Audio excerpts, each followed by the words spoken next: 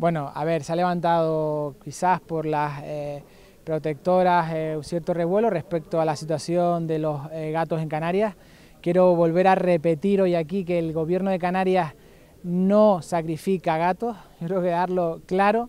la situación que estamos llevando a cabo desde la Consejería de Transición Ecológica es un control en los espacios naturales protegidos donde, se, donde hay fauna y flora en peligro de extinción susceptible de amenazada por estos gatos asilvestrados que estamos haciendo un trabajo exquisito y que cumple 100% con la legalidad y con la ley de bienestar animal. Eh, cazamos estos gatos y los llevamos a albergues o refugios de protectoras de animales para que sean ellos quienes eh, tomen las medidas o los pongan a la hora de poderlos eh, dar en adopción. Es el trabajo que estamos haciendo para proteger nuestra fauna, para proteger nuestra flora exclusivamente en los espacios naturales protegidos de Canarias, en colaboración con los cabildos insulares y por supuesto entendemos también